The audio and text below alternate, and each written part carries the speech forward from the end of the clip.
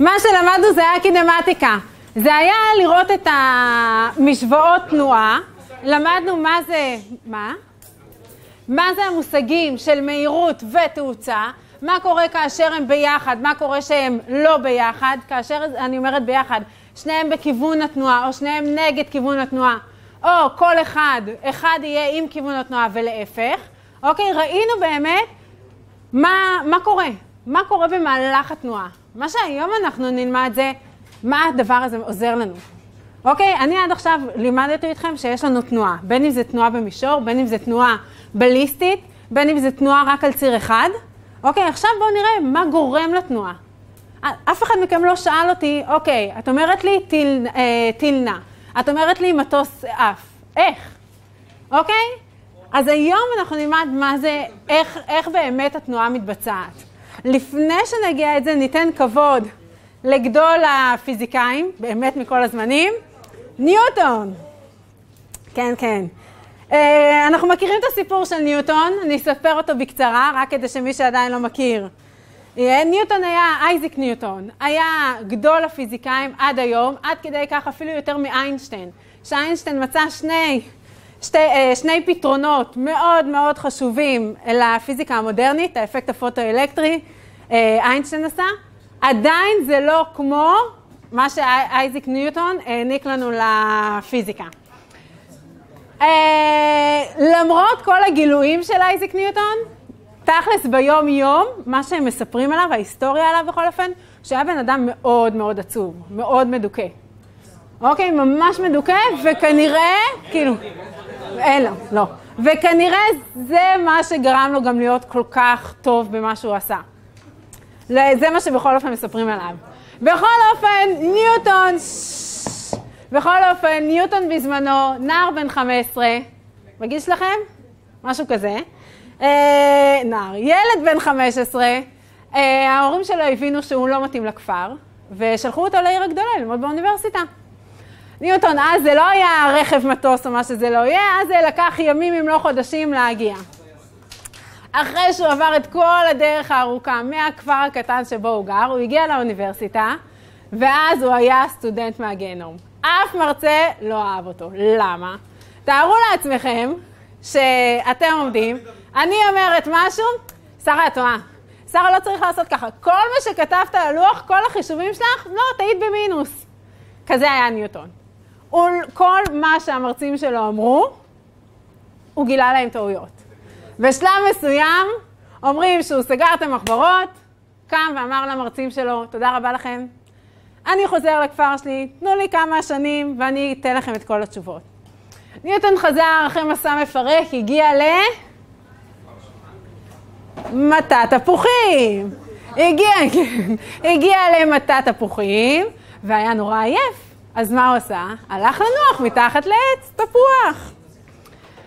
הלך לנוח, פתאום מרגיש בום, אה, בום בראש. מתעורר בבהלה, רואה את התפוח על הרצפה ואומר, וואו! חבר'ה, גיליתי כאן משהו מטורף. מה גילית? יש כוח שמושך אותנו כלפי מטה. עובדה שהתפוח היה על העץ והוא נפל ולא מרחף. אוקיי? מאז ניוטון אה, פרסם את עצמו, כתב את כל הדברים, כמובן שהיו אנשים לפני ניוטון שגילו על כוח המשיכה.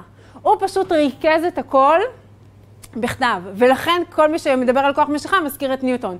למרות שגלילאו כבר הזכיר את זה לפניו, והיו עוד אנשים שהזכירו את זה לפניו, אוקיי? אה, זה היה ניוטון.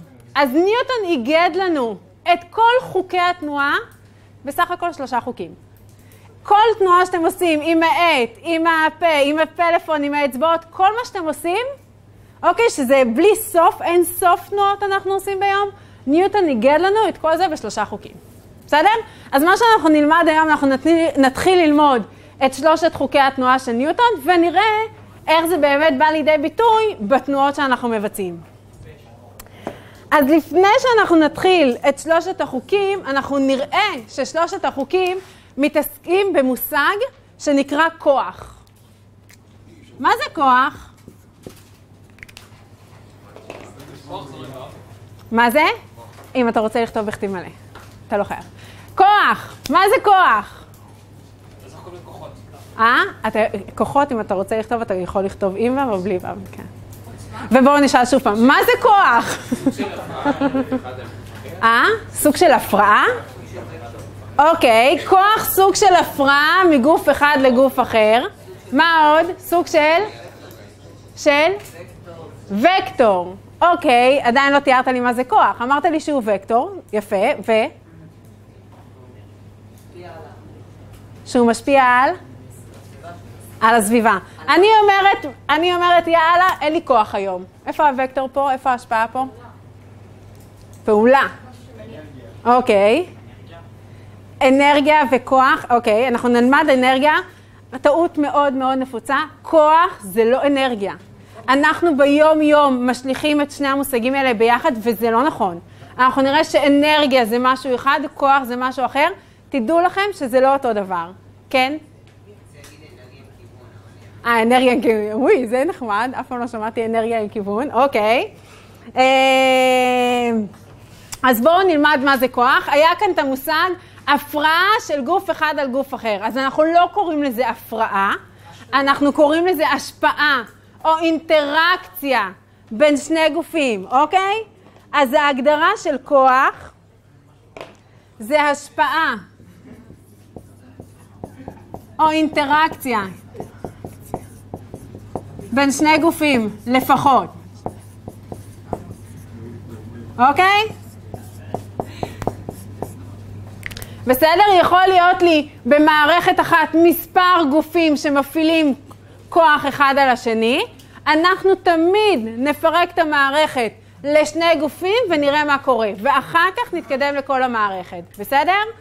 אז כוח זה השפעה או אינטראקציה בין שני גופים. למה אנחנו אומרים השפעה או אינטראקציה?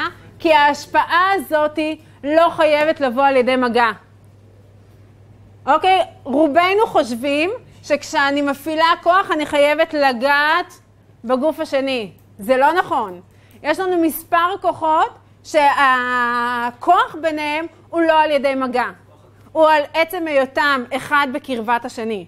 למשל נאמר פה כוח המשיכה. בסדר? כוח המשיכה, דמיינו לעצמכם תפוח שאני שמה אותו באוויר, אין לו מגע עם כדור הארץ והוא כן יורד לקרקע. כוח חשמלי, האם חייב שיהיה מגע? לא צריך שיהיה מגע בכוח חשמלי. אלקטרוסטטיקה למשל, אתה עכשיו לוקח, אה, משפשף את היד או משפשף בלון ומצמיד, זה חייב לגעת? לא. כוח מגנטי גם לא חייב לגעת. זאת אומרת, כשאנחנו מדברים על ההשפעה או על האינטראקציה, יש שתי אופציות. או שבאמת בין שני הגופים קיים מגע, או שלא קיים מגע ועדיין יש השפעה אחד על השני. כוח, כמו שנאמר פה, הוא וקטור.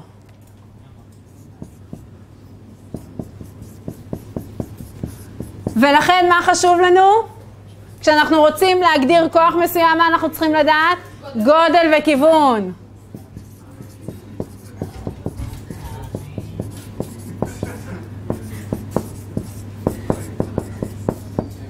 הדוגמה הכי קלאסית שאני יכולה לתת על uh, כוח שהוא גודל וכיוון, אם אני עכשיו אומרת לכם, uh, אני רוצה uh, שולחן, האם זה אומר לכם מה הכוח שצריך להיות ביניכם לבין השולחן?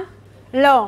אני חייבת להגיד לכם כמה המשקל, מה, כמה, uh, מה המסה של הגוף, ואני צריכה להגיד לכם לאן אני רוצה שתזיזו אותו, אוקיי? יכול להיות ימינה, שמאלה, למעלה, למטה. אני חייבת להגיד כיוון. לא אמרתי לכם כיוון, לא אמרתם לכם את המסה של השולחן, אתם יכולים להביא לי ילד קטן שיסחוב שולחן שהוא לא יצליח. זה עוזר לנו? לא, זה לא עוזר לנו.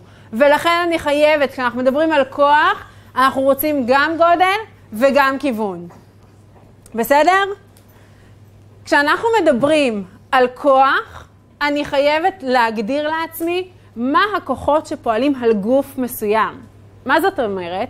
כל התרגילים שאנחנו עושים וכל ההבנה של חוקי ניוטון, זה לא לעשות לי את השאלה מורכבת, אלא לפשט אותה כמה שאפשר. מה זאת אומרת?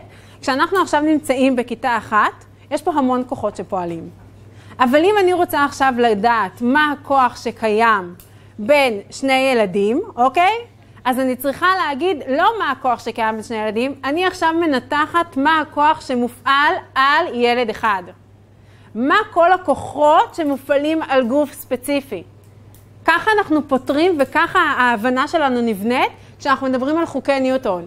אני לא יכולה, אי אפשר, אי אפשר לפתור שאלה עם כל הכיוונים ביחד, איך שתיהם מפעילים ביחד, אי אפשר. אנחנו חייבים לפרק את זה לצורה הבסיסית ביותר. ולכן אנחנו קודם כל נעבוד מה הכוחות שפועלים על גוף, ולא יעניין אותי בכלל מה הכוחות שהגוף הזה מפעיל על הסביבה.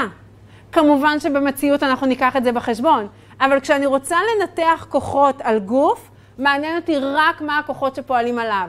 לא מעניין אותי בכלל מה הכוחות שהגוף הזה מפעיל על הסביבה. אם כן מעניין אותי מה הכוחות שהגוף הזה מפעיל על הסביבה, אז מה אני אשאל את עצמי?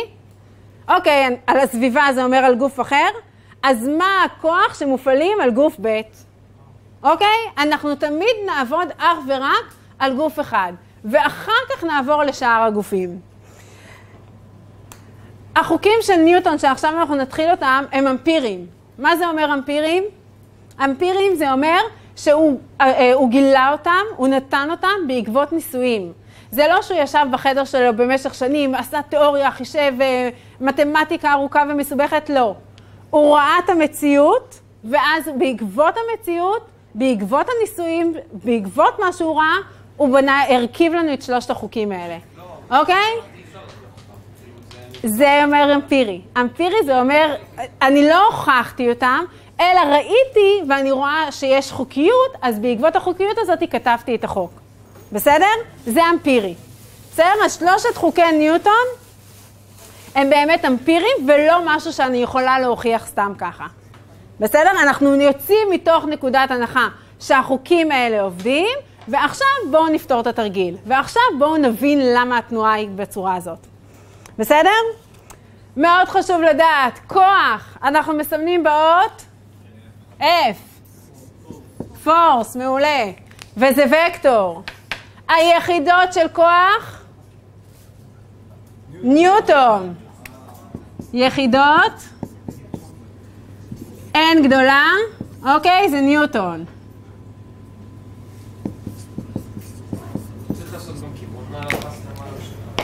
אם זה וקטור, אה, את, הסימ... את הסימן הזה, לכתוב את הכיוון, כן, אתה חייב, כי זה וקטור.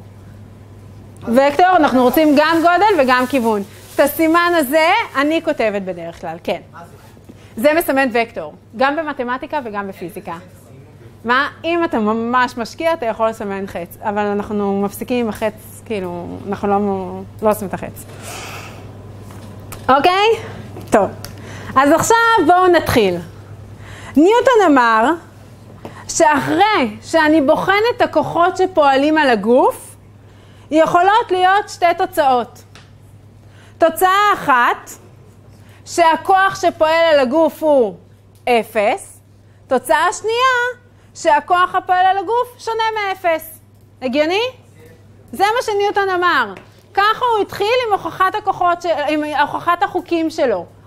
אוקיי? ברגע שפועלים כוחות על גוף, ואנחנו יוצאים מתוך נקודת הנחה שתמיד פועלים כוחות על גוף, אם פועלים כוחות על גוף, יכולות להיות לגוף הזה שתי אופציות. אופציה אחת, סך הכוח שפועל על הגוף הוא אפס, או שסך הכוח הפועל על הגוף שונה מאפס, אוקיי? איך ניוטון כתב את זה, וככה הוא הגדיר את החוק הראשון של ניוטון.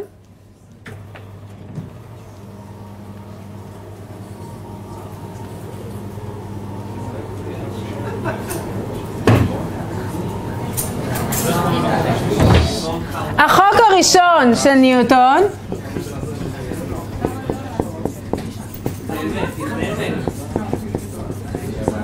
יש כאלה שקוראים לו חוק ההתמדה.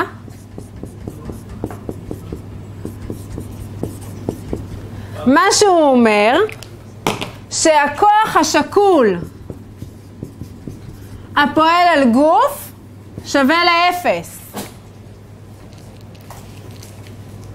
מה זאת אומרת הכוח השקול?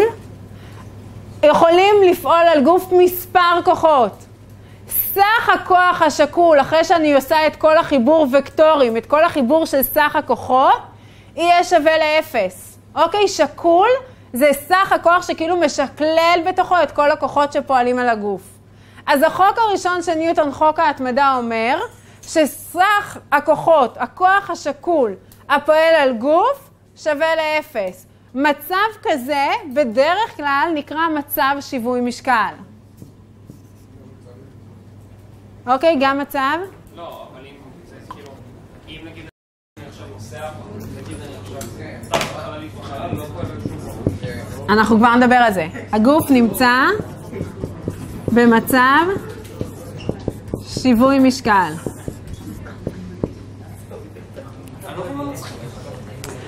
מה זאת אומרת מצב שיווי משקל? אופי התנועה של הגוף לא משתנה.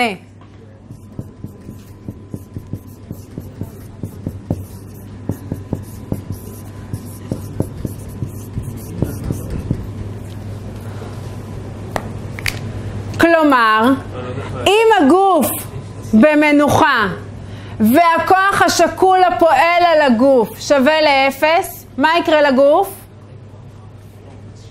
הוא יישאר במנוחה. עוד הפעם, לא זז, נכון, הוא לא יהיה בתנועה. בדיוק. אוקיי? עוד הפעם, מה שניוטון אומר, אם גוף נשאר, הוא נמצא במנוחה, אם הכוח השקול עליו שווה לאפס, הוא יישאר במצב מנוחה. הוא בחיים לא ינוע. זאת אומרת, אם אני עכשיו לוקחת את הכוס הזאתי ומניחה אותה פה, ואף אחד לא ייגע בה, במשך מאה שנים, מיליארד שנים, היא תישאר במצב הזה. אוקיי? כי אף אחד לא נוגע. היא נמצאת, סך כל הכוחות שפועלים עליה, הכוח השקול שווה לאפס, ולכן הגוף הזה, הכוס, תישאר במצב מנוחה. כן. נגיד אבל שיש אה, כדור שמתגלגל, וכאילו ככה כבר מקבלים, זה המצב שהוא נמצא בו, ואני לא מפעיל עליו כלום, זה גם כאילו... אנחנו כבר נראה מה זה לא מופיע עליו כלום, אנחנו כבר נראה את הכוחות שקיימים.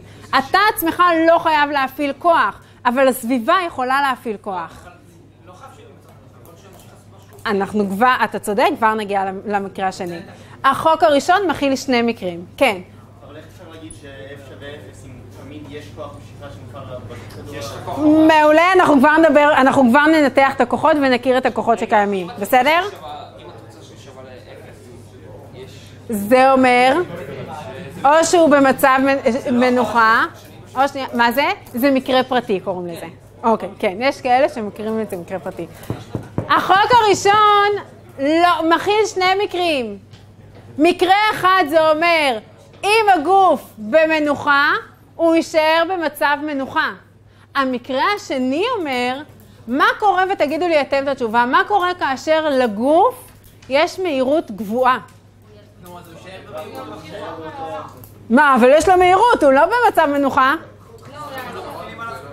אה, מהירות זה לא כוח. מהירות זה לא כוח, נכון, אבל זה וקטור, יש לי כיוון משנה, כיוון, גודל, משהו. לא. למה שקול הכוחות שווה לאפס כאשר המהירות היא מהירות גבוהה? ואני מבקשת לא לדבר דברים שלא קשורים לשיעור, זה ממש מפריע לי הדיבורים. כי התוצאה שווה לאפס, ואז ה- לפי החוק השני, אז ה- אני לא יודעת עדיין מה זה החוק השני. אין שום כוח, כי יש כוח משיכה. אם היה כוח אז המהירות הייתה משתנה. אוקיי, עכשיו בואו נשלב את שתי התשובות שלכם. אם היה לי כוח, האם המהירות יכלה להישאר גבוהה? לא, היא לא יכלה להיות, אה, להישאר גבוהה. למה? כי אז מה היה לי? תאוצה. מה זה תאוצה? תאוצה זה שינוי בקצב המהירות, אבל אני כאן מכתיבה לכם שהמהירות היא מהירות גבוהה. ולכן המקרה השני שנכנס בתוך החוק הראשון של ניוטון, זה כאשר גוף נמצא במהירות גבוהה בקו ישר, הוא ימש... יפה מאוד, שקול הכוחות יהיה שווה אפס. זאת אומרת, הוא ימשיך עד אינסוף באותה מהירות ולא ייעצר. אוקיי? הדבר הזה, המשפט הזה, שינה את כל פני ההיסטוריה שהייתה ב-1687, אוקיי? כולם ידעו שכאשר גוף בתנועה, בשלב מסוים מה קורה? הוא נעצר. פתאום בא ניוטון ואומר, לא חבר'ה, אם הגוף נמצא במהירות גבוהה, זאת אומרת ששקול הכוחות עליו שווה לאפס, אין תאוצה, ולכן הגוף הזה יישאר במהירות גבוהה כל הזמן, כאשר התנאי הוא שהוא נע בקו ישר. אוקיי? למה כאשר הגוף לא בקו ישר זה לא מתאים? מה יהיה לי? אם הוא לא בקו ישר אין כוחות, יש כוחות, כן, יש עוד כוחות, אוקיי, בסדר, אבל אם הוא לא בתנועה מעגלית, אלא בכל תנועה שהיא אחרת, תהיה תאוצה, או יותר נכון, יהיה שינוי במהירות. למה יהיה שינוי במהירות? בכיוון של המהירות, מהירות זה וקטור. ולכן גם אם גודל המהירות יישאר קבועה, אוקיי, גם אם הגודל יישאר קבוע, ברגע ששיניתי את הכיוון, זה אומר ששיניתי את המהירות. כי מהירות זה וקטור, ווקטור זה גודל וכיוון. בסדר? אז בואו נסכם. כאשר החוק הראשון של ניוטון אומר שקול כוחות שווה לאפס, וזה יכול להיות בשני מצבים. אחד, או שהגוף במנוחה, שתיים, הגוף נע במהירות גבוהה לאורך קו ישר. בסדר? וחשוב לזכור את הלאורך קו ישר. כן אמ, את אמרת שהחוקים, אז אה, שהוא גילה אותם לפי ניסויים. נכון. אז איך הוא גילה בעצם שאם לא מופעל שום כוח, אז ימשיך ישר, את וכאלה? הדוגמה הכי הכי הכי נפוצה במקרה השני זה קוביית קרח על קרח. ברגע שאין לך חיכוך, הקובייה תמשיך עד אינסוף עד שהיא תימס. והיא לא תשנה את המהירות שלה ברגע שזה משטח ישר. ברגע שיש קצת במברים, זהו. אוקיי? כן, מה השאלה? או הערה? איך מגדיר את הקו הישר? איך אני יודע... מי מגדיר? אתה מגדיר את כיוון התנועה ומה נקודת ההתחלה T והסוף, אוקיי? אז אתה יודע מה זה קו ישר. ברגע שאין לך זווית מנקודת ההתחלה שלך. בסדר? כי אז אתה ממשיך את התנועה הישרה שלך. כן. F שקול שווה לאפס, זה יכול להיות שתי אופציות. או הגוף במנוחה, ואז סך הכוחות, הכוח השקול שפועל עליו הוא אפס, או שהגוף נע במהירות גבוהה. אז הוא ימשיך במהירות גבוהה בקו ישר. בסדר? ואז ה-F השקול גם שווה לאפס. למה? כי מהירות זה לא כוח. בסדר? מהירות זה וקטור, תאוצה זה וקטור, הם לא כוחות. בסדר? עוד שאלות? בואו נראה את הניסוי. בואו נראה את ההוכחה שיש על החוק הראשון של ניוטון שנקרא חוק ההתמדה. בואו תסתכלו. מה? יש קוביית קרח, זה מראה על מהירות גבוהה. בואו נעשה את הגוף במנוחה, טוב? תסתכלו מה אני עושה. לקחתי כוס, ספל, שמתי על זה צלחת, אוקיי? חד פעמית, זה מה שהיה. גליל נייר טואלט, ועל זה אפשר לקחת מה שאתם רוצים, העיקר שהצורה תהיה עגולה. אפשר לקחת ביצה קשה, אפשר לקחת ביצה רכה, מי שסומך על עצמו, בסדר? ואנחנו שמים בצורה שכמה שפחות חיכוך יהיה בין הגוף העגול לגליל, בסדר? מה שעכשיו אני אעשה, אימא'לה, אני אתן מכה חזקה ומהירה לצלחת, אוקיי? מה יקרה? יעוף לאנשהו, מה? יעוף לתוך הכוס? מי יעוף לתוך הכוס? איפה נתתי את המכה? כאן. מכה חזקה ומהירה. אז יעוף לשם. מי ייכנס לתוך?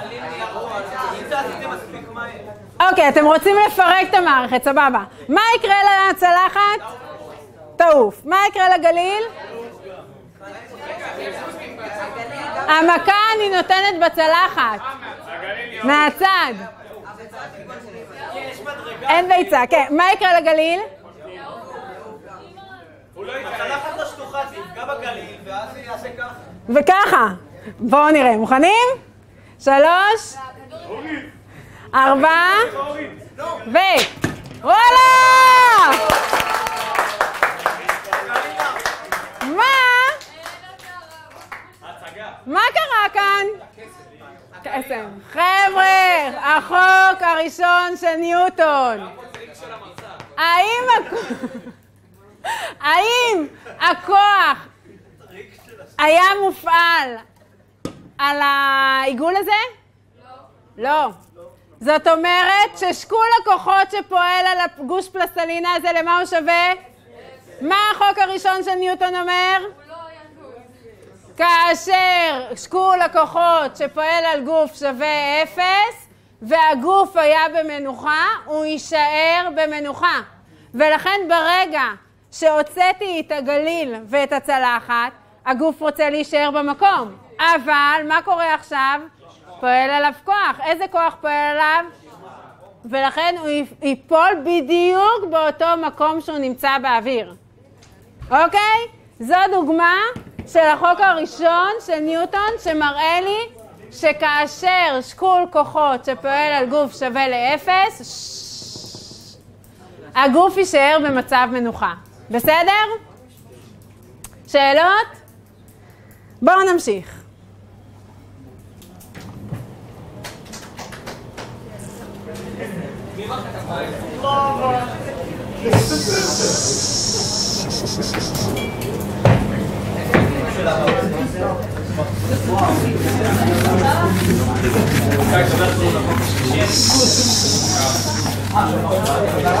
לפני שנמשיך ונתקדם לחוק השני, חבר'ה שקט, לפני שנמשיך ונתקדם לחוק השני, בואו נכיר קצת אה, סוגי כוחות, אוקיי? הכוח שכולנו מכירים, כוח המשיכה. מי גורם לו? מי מפעיל אותו? כדור הארץ. על מי הוא מפעיל? בדיוק, על כל הגופים שנמצאים בסביבתו. ונכון מה שאמרת בצורה מדויקת יותר, זה כוח בין מסות, נכון? אנחנו נזכיר את זה קצת בהמשך. איזה עוד כוח קיים? כוח הנורמל, אוקיי? מה זה כוח הנורמל? כוח המשיכה זה כוח שכדור הארץ מפעיל. כוח הנורמל זה כוח שכל משטח מפעיל על הגוף שנמצא עליו. אוקיי? תחשבו על זה. כוח הנורמל זה כוח שכל משטח מפעיל עליו. זאת אומרת, השולחן מפעיל כוח הנורמל על הספוג. הרצפה מפעילה כוח הנורמל על הרגליים שלנו, אוקיי? אם... שנייה, אז זה אנחנו, כשנגיע לחוק השלישי נדבר על זה, צודק. כוח הנורמל זה כוח שמשטח מפעיל על גוף.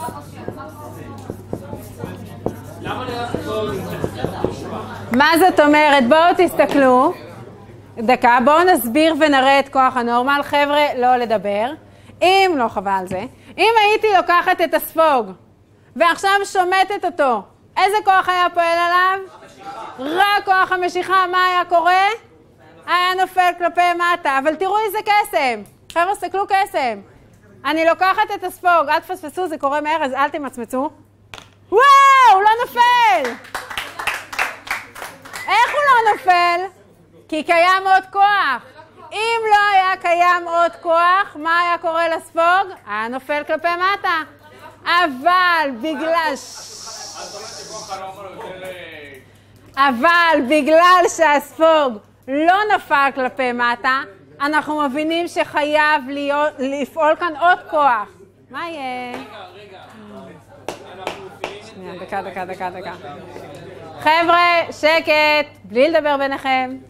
ברגע שהספוג לא נפל לכיוון הרצפה, חייבים להבין שקיים עוד כוח, ואני צריכה להבין מי מפעיל את הכוח הזה. אז אני רואה שההבדל בין המקרה הראשון למקרה השני מהו? השולחן. ומבחינתנו שולחן זה משטח. אז אני מבינה שהשולחן, שהמשטח שלנו, הפעיל כוח לכיוון הספוג, על הספוג. ולכן הוא לא נופל. ומה יהיה הכיוון של הכוח שהשולחן מפעיל על הספוג? כלפי מעלה. אוקיי? מנוגד לכיוון כוח המשיכה. בסדר? מה זה? גם, נכון.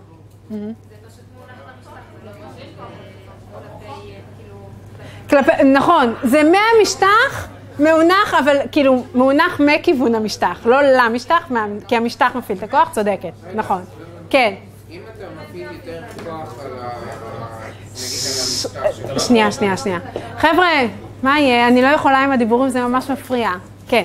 נגיד אם אני מניח את היד שלי על השולחן, ואז אני מפעיל אה, עוד כוח על השולחן על ידי הלחיצה של היד שלי. הנורמל הוא גם עולה? כאילו, אנחנו כבר נגיע, מה שאתה שואל אותי זה על החוק השלישי, ואנחנו כבר נראה מה קורה. בסדר? הכוח הנורמלי שלו נובע מהחוק השלישי. הכוח הנורמלי מתנהג בהתאם לחוק השלישי, כבר נראה איך הוא מתנהג בהתאם. בסדר? אל תשכח שהכוח הנורמלי זה גם, הנה, אתה יכול לראות כאילו את זה בעיניים, זה לא צריך משהו, בסדר? אוקיי, איזה עוד כוחות אתם מכירים? מגנטיות, נכון, חשמל, מה עוד? סטטי, שזה סוג של חשמל. אלא חיכוך, אוקיי? כוח החיכוך. מה זה כוח החיכוך?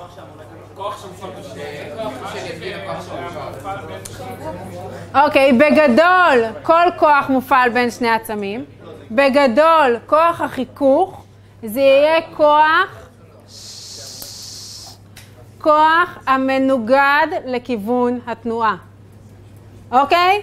כוח החיכוך, אנחנו מגדירים אותו בתור כוח המנוגד לכיוון התנועה. ומי יוצר אותו? המשטח, אוקיי? ומי שמייצר את כוח החיכוך זה המשטח.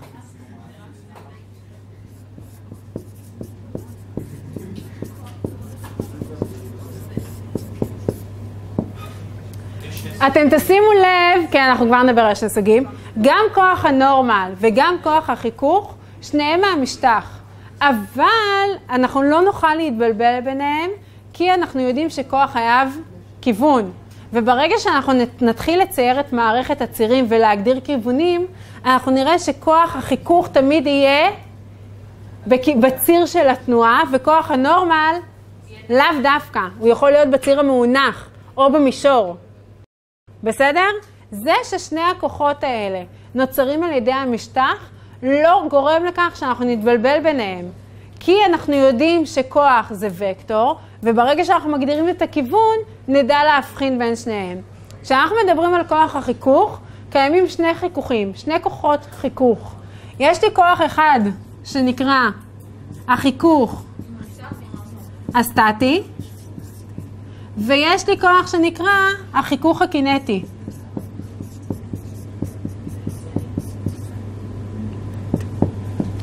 אוקיי, מה זה החיכוך הקינטי? כולנו מכירים את זה מהחיי יום-יום. ברגע שאני הולכת, אוקיי? אני, אם אני הולכת, יש לי חיכוך עם הרצפה, נכון? רכב שהוא בתנועה, יש לו חיכוך עם הכביש. כל גוף שהוא בתנועה, יש לו חיכוך עם המשטח שהוא עליו, נכון? כולנו מכירים את זה. זה החיכוך הקינטי. מה זה החיכוך הסטטי? לא, זה, זה מה שאמרתי, זה שני כוחות שונים. החיכ... אוקיי, כשיש לי משטח, נכון. כאשר, מה זה? כאשר הגוף מונח על משטח, והמשטח יכול להיות כל משטח שהוא, בין אם זה רצפה, בין אם זה כיסא, בין אם זה שולחן, והגוף נמצא במצב מנוחה, קיים חיכוך סטטי. אם לא היה קיים חיכוך סטטי, מה היה קורה לגוף? הוא היה מחליק. תחשבו על זה. כשאני עומדת עכשיו בצורה סטטית, כולם חושבים, אה, אין כוח חיכוך. לא, קיים חיכוך.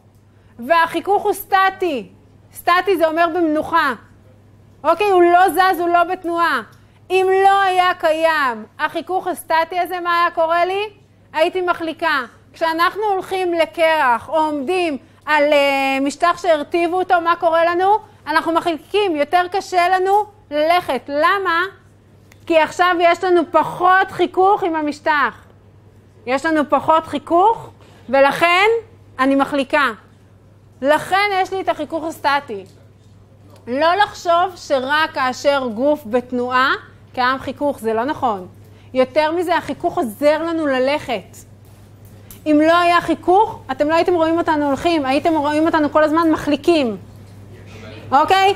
עצם זה שקיים חיכוך, הוא גורם לי, ליציבות שלנו, בסדר? ולכן גם אם אני עומדת, יש לי חיכוך. אם לא היה לי חיכוך, הייתי מחליקה. כן. איך זה אבל עובד עם החוק הראשון? כי אם הגוף מנוחה, אבל עובד על הכוח, אז איך האפס? כי יכול, יכולים להיות לי מספר כוחות, ואז הם מקזזים אחד את השני. אנחנו... שמה? אוקיי, כן. מה שהיה לנו פה במקרה של הצלחת, היה לי שתי כוחות שפועלים, אוקיי? שני כוחות שפועלים על הגוש פלסטלינה. אחד, כוח המשיכה. השני, כוח הנורמל מהקצה של הגליל. בסדר? ולכן הגוף במנוחה, למרות שפועלים עליו שתי כוחות.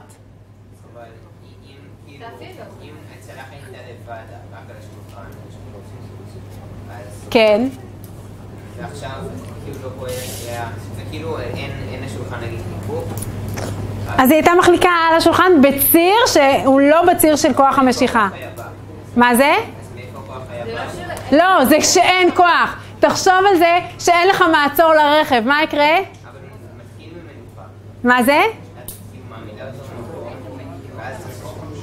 אוקיי, הבנתי אותך. לא, אתה מתקדם, כשאני רוצה לעשות ניתוח של הכוחות, זה תחליט מאיפה המצב מתחיל. מה שקרה לפני לא מעניין אותי.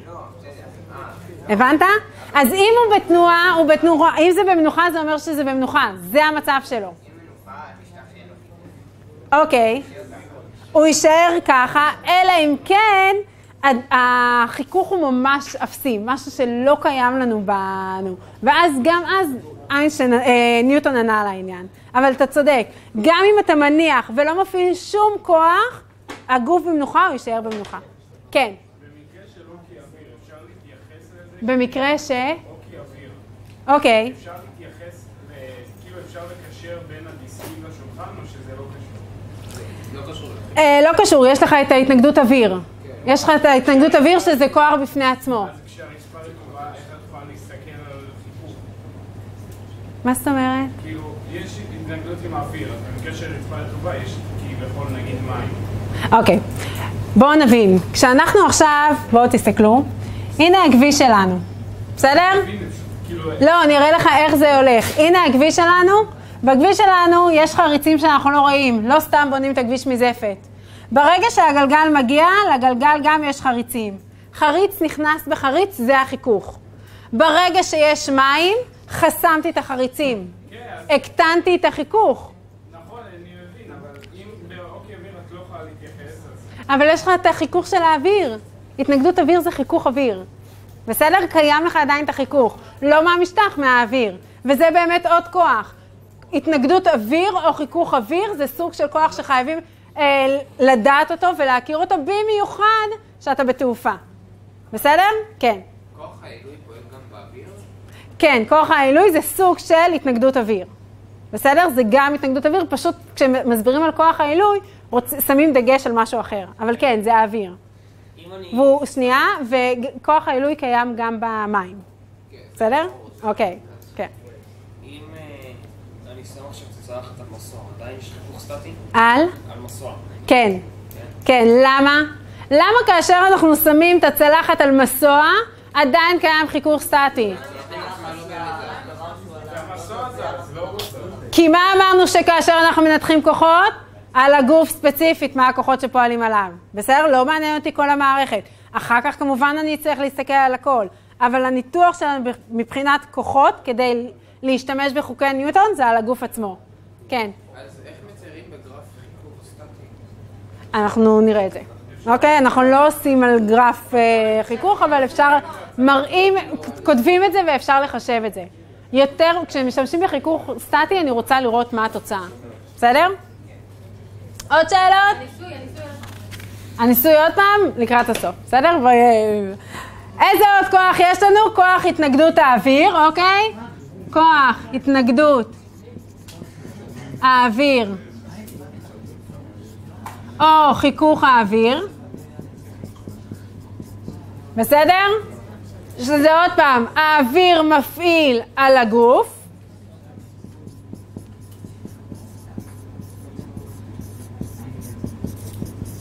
כן. משטח? מה זה? כוח הנורמל, תלוי מה המשטח, זה, זה יגוון לנו כביכול מה הכוח.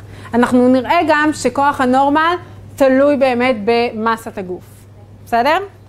אנחנו לא נחשב אותו לבד, אלא נחשב אותו דרך מסת הגוף.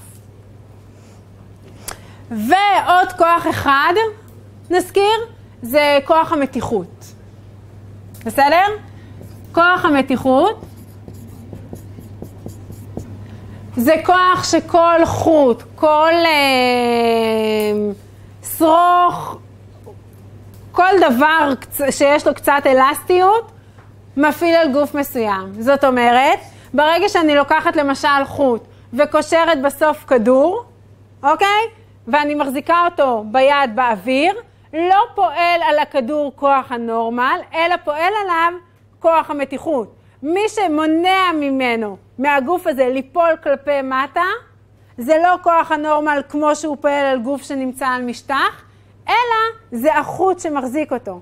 אז החוט מפעיל כוח המתיחות, בסדר? מה זה? אנחנו, לא, אנחנו פחות מתייחסים לאלסטיות, יותר מעניין אותי שהוא מפעיל כוח, בסדר? גם אם תשימי עמוד, זה, אנחנו נוכל לחשב את זה בתור כוח המתיחות, כן, בסדר? כן.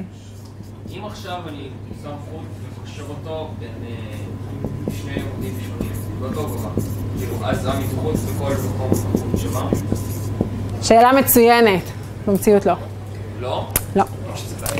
במציאות לא. בתיכון לומדים כן.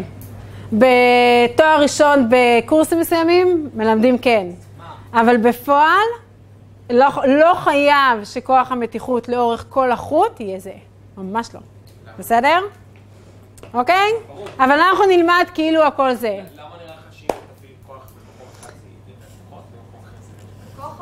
טוב. מה זה? כוח המתיחות זה החוט מפעיל על הכדור, אוקיי? זה עוד פעם, אנחנו תמיד מעניין אותנו מה הכוחות שמופעלים על גוף מסוים, בסדר? אוקיי. שאלות? בואו נעבור לחוק השני של ניוטון.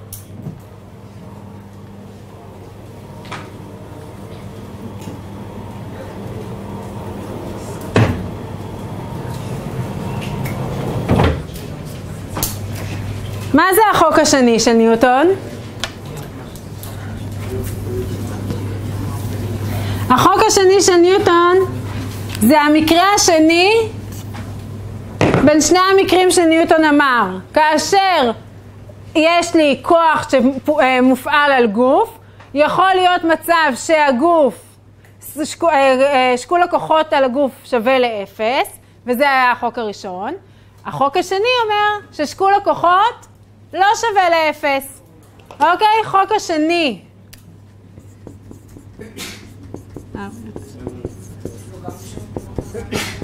הרבה פיזיקאים לא נותנים לו שם, אבל יש גם פיזיקאים שקוראים לזה, אה, לחוק הזה חוק התאוצה. אוקיי?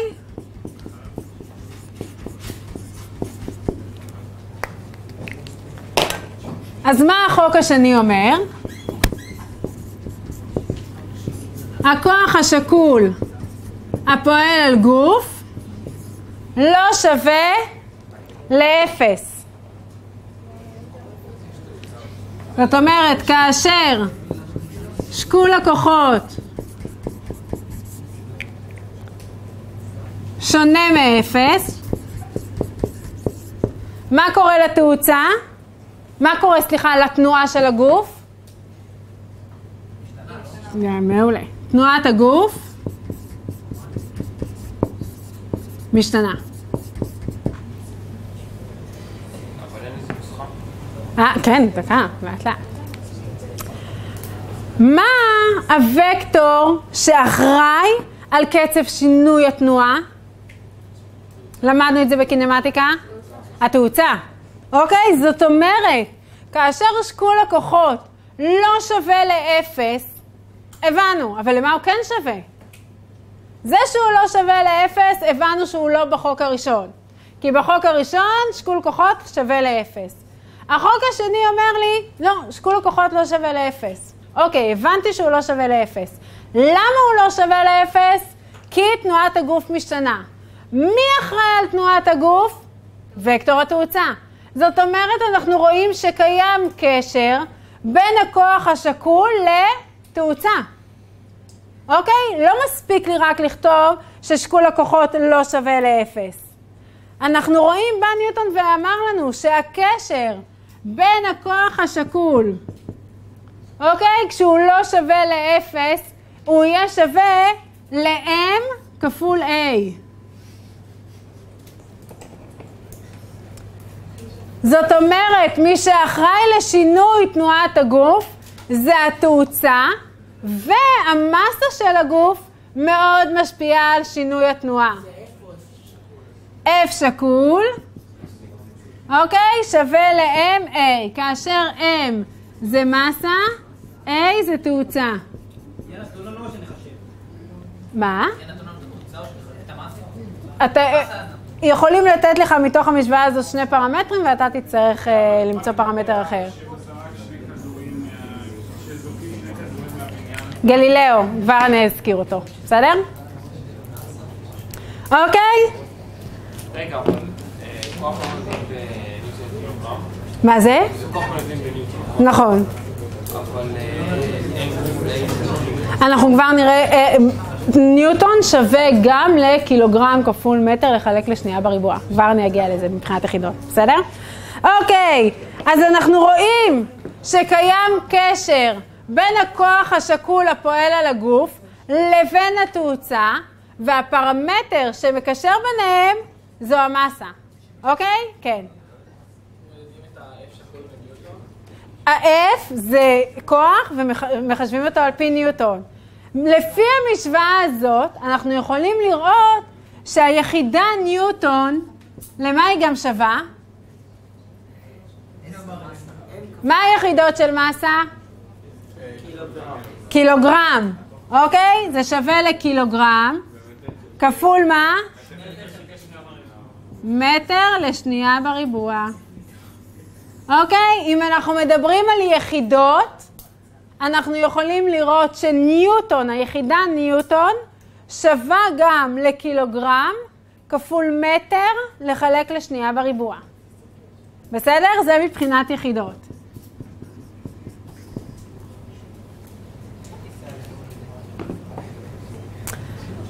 מה זה מסה?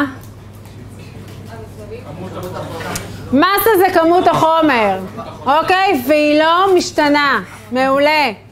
אוקיי? ולכן זה כביכול מבחינתנו משהו קבוע שמקשר, נכון.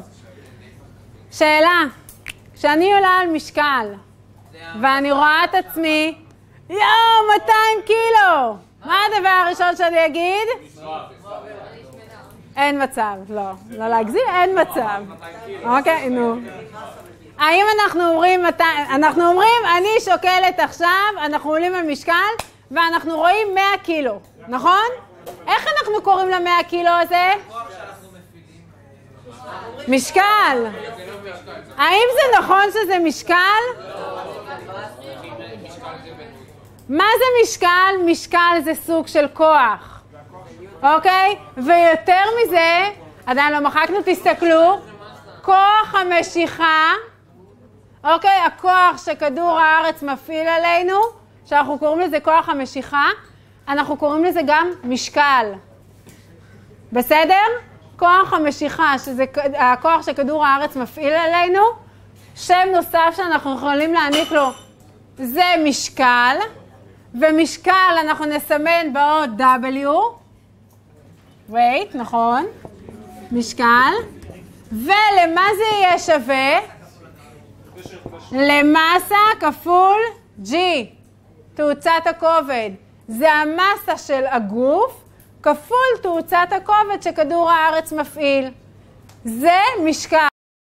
ולכן כשאני אומרת, אני שוקלת 100 קילו, זה לא נכון. כי מה הייתי צריכה להגיד? אני שוקלת 100 ניוטון. אם אנחנו מדברים על שקילה, זה כוח. אבל אם אני רוצה לדבר על המסה שלי, מה היחידות של מסה?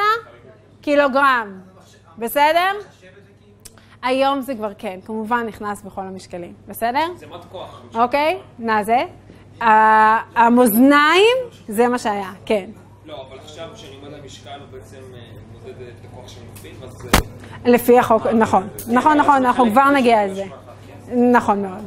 אוקיי, הוא כבר מחשב את ה-9.8 בתוך זה, המשקל, אוקיי? אוקיי, ולכן כשאנחנו אומרים אנחנו עולים על משקל, זה לא נכון. אנחנו צריכים להגיד אנחנו עולים על מאזניים. בסדר? מה זה?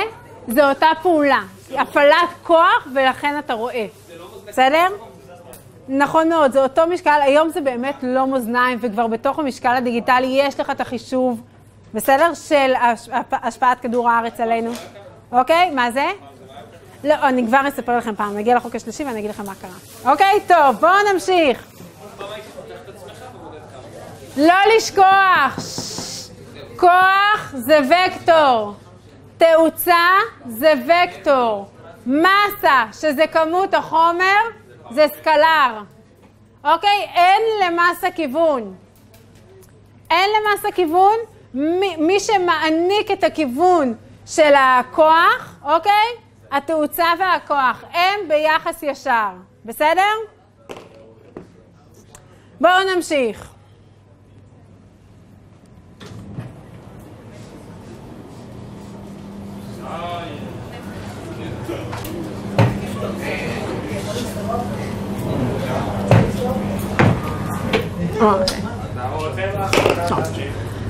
אוקיי, בואו נמשיך.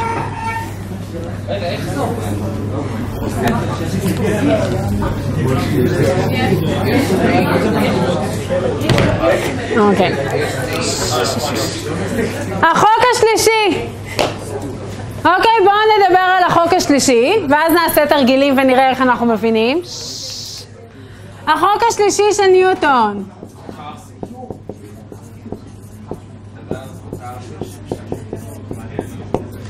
יש כאלה שמכנים אותו... לא. כן, כל מה שעושה לך אסור לך. אוקיי. החוק השלישי של ניוטון, יש כאלה שמכנים אותו בתור חוק הפעולה והתגובה.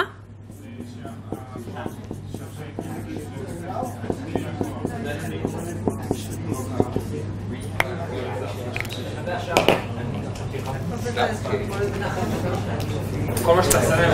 בשונה מהחוק הראשון ומהחוק השני, שאני צריכה לדעת האם הגוף בתנועה או לא בתנועה, מה קורה עם הכוח השקול, האם הוא שווה לאפס או לא שווה לאפס, החוק השלישי לא מעניין אותו הדברים האלה. מה שמראה לנו החוק השלישי, ששש, מה שמראה לנו החוק השלישי זה, הוא אומר לי, אם קיים קשר בין שני גופים, אוקיי? אם קיים קשר, קיימת אינטראקציה, קיים כוח בין שני גופים, הכוח שגוף א' מפעיל על גוף ב' שווה בגודלו והפוך בכיוונו לכוח שגוף ב' מפעיל על גוף א'. זה מה שהחוק השלישי אומר. בואו נסתכל. אם אבל זה נשאר באותו מקום.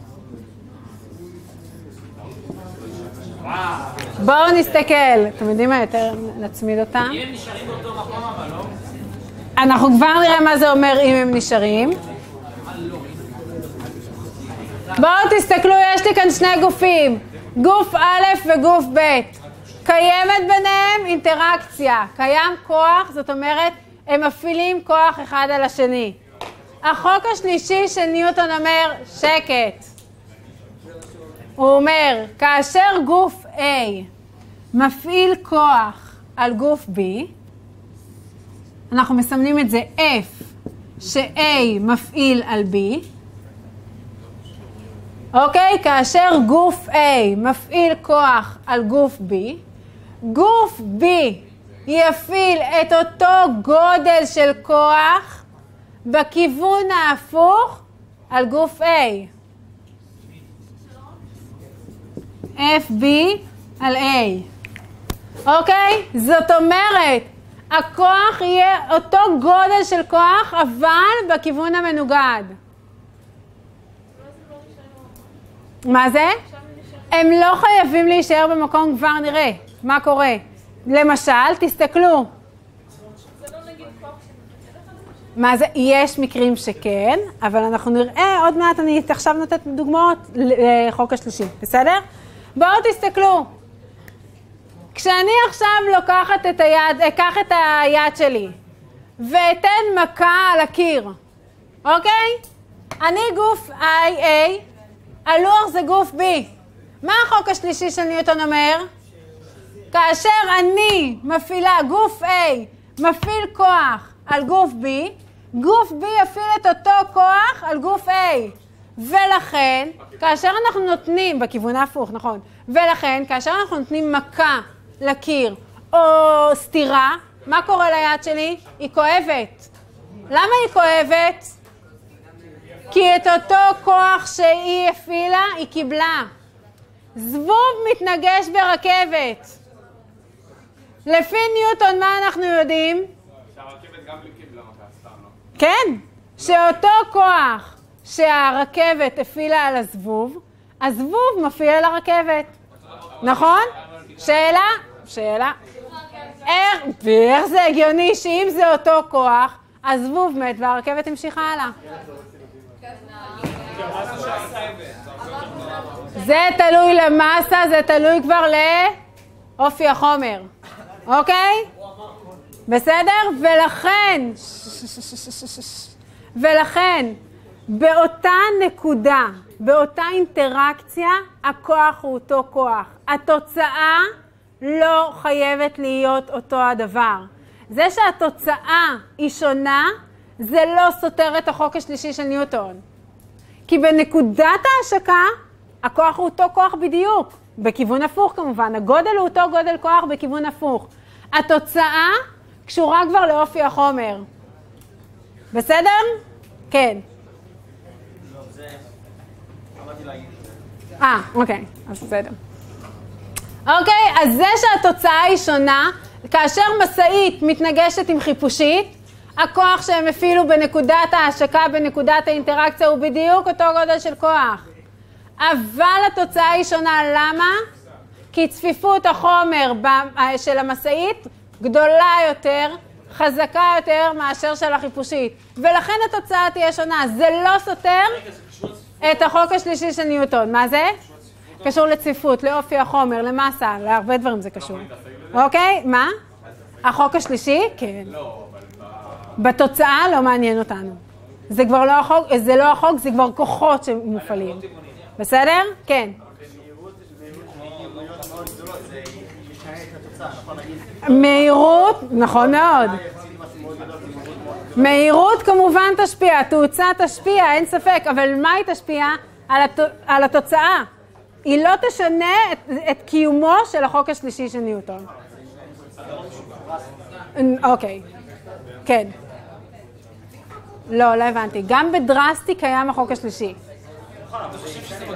התוצאה תשתנה. לא, בנקודה עצמה הכוח יהיה אותו כוח. בכללי, אם זה עף אחורה, זה כבר התוצאה. זה כבר תלוי במסה ובאופי של החומר, אוקיי? בחומר הסגולי. טוב. אז מה שמאוד חשוב להבין בחוק השלישי של ניוטון, זה שהכוחות, הכוחות F של A על B, שווה בגודלו לכוח של B על A, אוקיי? שווים בגודלם, הפוכים בכיוונם. בסדר? מה זה? אתם יכולים לכתוב בערך מוחלט אם אתם רוצים ממש מתמטיקה. סך הכל בפיזיקה, אנחנו נכתוב את זה. מה זה? אפשר יהיה גם לעשות מינוס. איך שאתם רוצים, זה לא משנה. בלמעלה חושבים לפה ולפה גם. אה, לא, וקטור זה סימן של חץ, הכיוון השני לא, אין דבר כזה, בסדר? אוקיי, בואו נתחיל לפתור שאלה.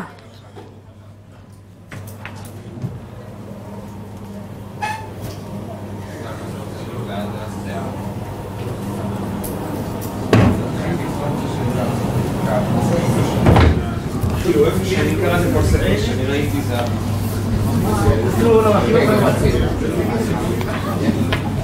אוקיי. על משטח אופקי? חבר'ה תהיו בקצב, השאלה ארוכה. על משטח אופקי, גוף שמסתו חצי קילוגרם,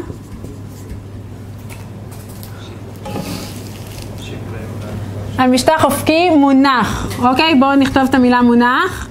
מונח גוף שמסתו חצי קילוגרם. השלימו את המשפטים הבאים. אחד, כוח בין ניוטון מופעל על הגוף כלפי מטה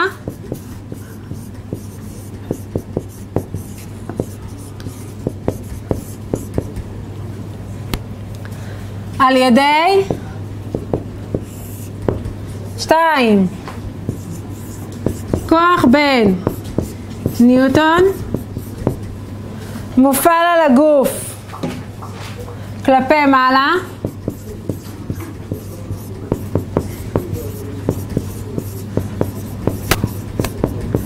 על ידי? שלוש האם הכוח המופעל בשתיים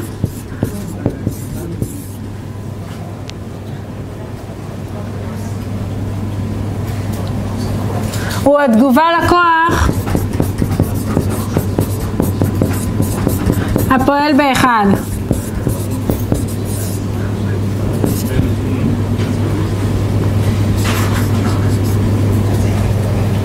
אומרת כוח שהוא מפעיל כוח של ניוטון? מספר, תנו לי מספר, בסדר? אה, האם הכוח המופעל בשתיים הוא התגובה לכוח הפועל באחד? ארבע. התגובה לכוח?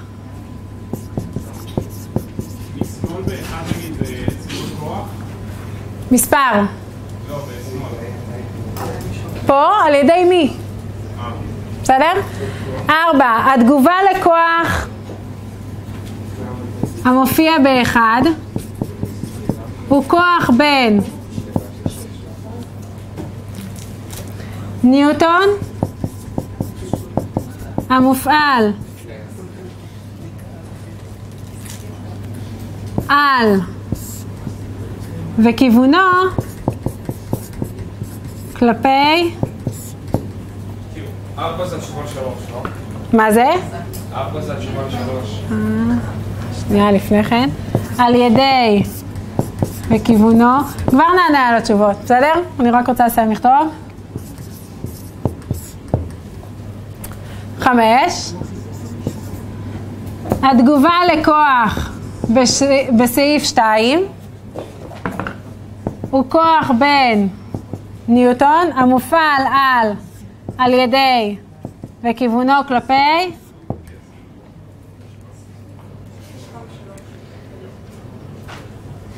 שש.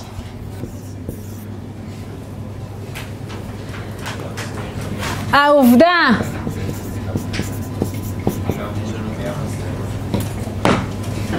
שהכוחות באחד ובשתיים שווים.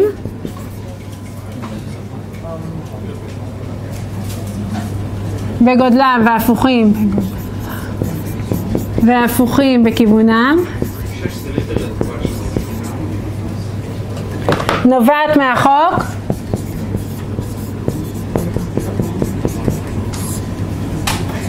של ניוטון. לנו, יש לנו פה...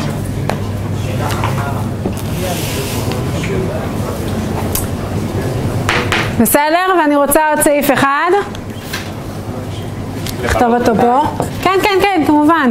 חבר'ה, לא לחכות לי, לכתוב ולהתחיל למלא לבד. שבע אני כותבת פה, פשוט לפתור. מתמטית, כן. העובדה כי הכוחות, על ידי זה, על ידי איזה כוח? כן, כמו שעשיתי רשימה איזה הגדרת כוחות ומי מפעיל את זה, זה. העובדה שהכוחות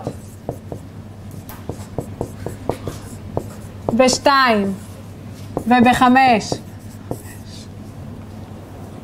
שווים בגודלם והפוכים בכ- בכיוונם היא בעקבות החוק של ניוטון. כולם רואים? טוב, על משטח אופקי. על משטח אופקי מונח גוף שמסתו חצי קילוגרם.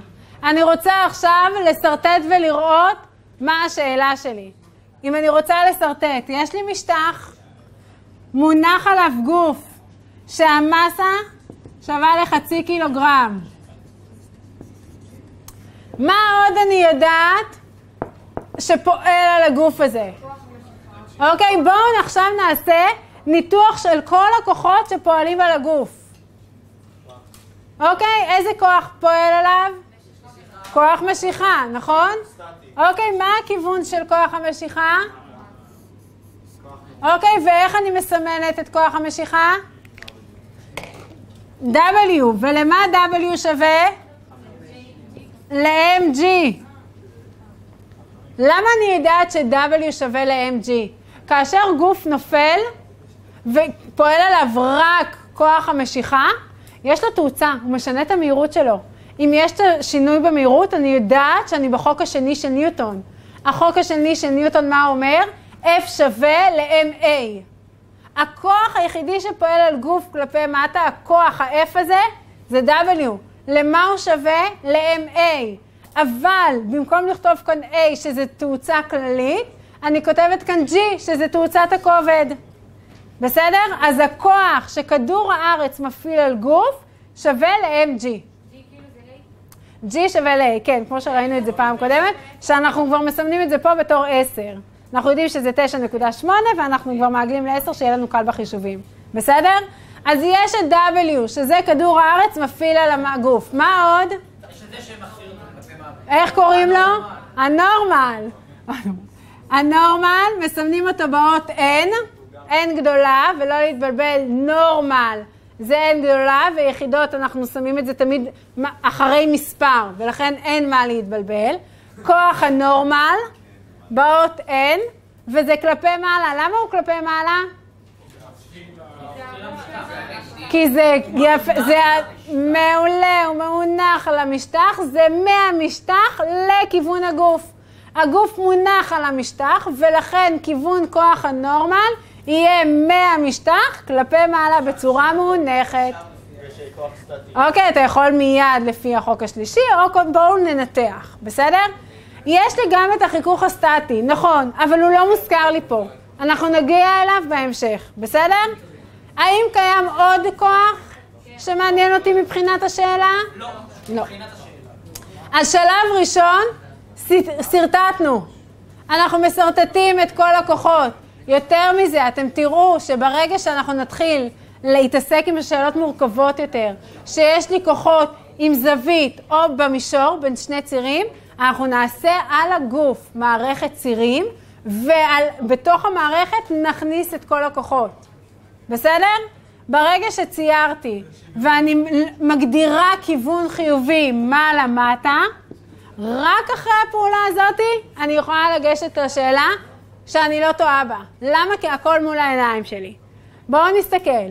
כוח בין mm, ניוטון מופעל על הגוף כלפי מטה על ידי. מה מופעל כלפי מטה? כוח המשיכה.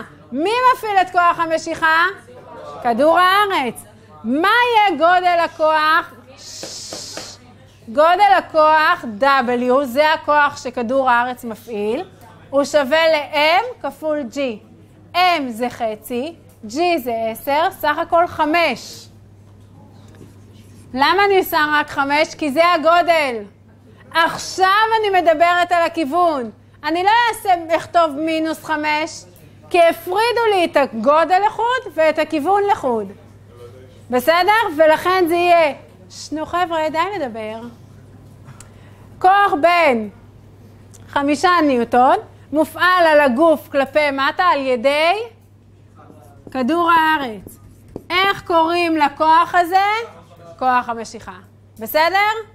הלאה. כוח בין חמש, חמישה ניוטון, מופעל על הגוף כלפי מעלה על ידי, על ידי המשטח. ואיך קוראים לכוח הזה? כוח הנורמל. לא? כי כאילו. כי הפרדנו גודל וכיוון. בסדר? לא, תלוי מה, צורת המישור שלו. נכון. האם הכוח המופעל בשתיים הוא התגובה לכוח הפועל באחד? במילים אחרות, האם קיים ביניהם כוח הפעולה והתגובה, החוק השלישי של ניוטון? כן או לא? למה כן? אפשר פשוט לומר שאם לא היה משיכה גם לא היה. מה זה? בגלל שבעצם כדור אני מפעיל את הכוח המשטח, ואז המשטח, בגלל שמפעיל כוח, הוא מפעיל חזרה. אם אחד מהכוחות לא מתקיים, גם השני לא. אוקיי, בואו נסתכל. חבר'ה, תסתכלו. מה אמרנו שהחוק השלישי אומר? שני גופים, שני גופים, קיימת ביניהם אינטראקציה, נכון? האם פה יש לי שני גופים שקיימת ביניהם אינטראקציה? הגופים שקיימת ביניהם אינטראקציה זה הגוף עצמו והמשטח, נכון? האם ה-W זה כוח שהגוף מפעיל? לא. אז האם הכוח המופעל בשתיים הוא תגובה לכוח הפועל באחד? ממש לא. אוקיי? זה שני כוחות שמופעלים. שני כוחות שמופעלים הם לא חייבים להיות בתגובה ל... יש לי הגוף, על גוף יכולים להיות, אה, לפעול מספר כוחות. בסדר? זה שהם באותו גודל, זה לא אומר שהם בתגובה אחד לשני. מה זה? מה זאת אומרת ש... אז אם זה בתגובה, זה אומר שאנחנו בחוק השלישי של ניוטון, ומה הוא אמר? שני גופים מפעילים, יש ביניהם אינטראקציה. המשטח מפעיל על הגוף. ה-W, מי מפעיל אותו? כדור הארץ. אז האם קיים כאן החוק השלישי? לא קיים כאן החוק השלישי, והרבה מתבלבלים. אז לא להתבלבל. כשאני רוצה לדעת אם מספר כוחות, חבר'ה, לא לדבר. אם אני רוצה לדעת שמספר כוחות קיימים לי, האם הם כוחות שגופים שונים מפעילים על הגוף, או שהם באמת חוק הפעולה והתגובה, החוק השלישי של ניוטון, תראו מי מפעיל את זה ועל מי הכוח מופעל. אני חייבת, כשאנחנו מדברים על החוק השלישי, אני חייבת לראות אינטראקציה בין שני גופים, שגוף אחד מפעיל על גוף שתיים, וגוף שתיים יפעיל את אותו כוח. אבל נורמל ו-W זה לא שני גופים שמפעילים אחד על השני. כן.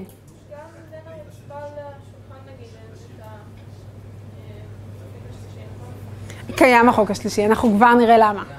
בסדר? כבר אנחנו נראה למה כן קיים החוק השלישי. בסדר? אז סך הכל התשובה פה היא לא. ארבע, התגובה לכוח באחד הוא כוח בין חמש ניוטון המופעל על? על כדור הארץ,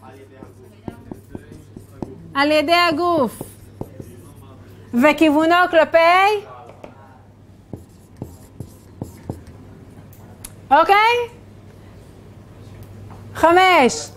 התגובה לכוח בשתיים הוא כוח בין. וניוטון המופעל על המשטח. על ידי הגוף כלפי מטה.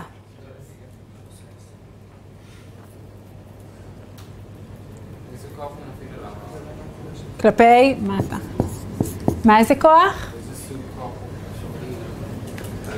עכשיו סעיף 6 ו-7 מדברים על זה. העובדה שהכוחות ב-1 ו-2 שווים בגודלם, וזאת השאלה ששאלת, אז תקשיב לי, שווים בגודלם והפוכים בכיוונם, נובעת מהחוק.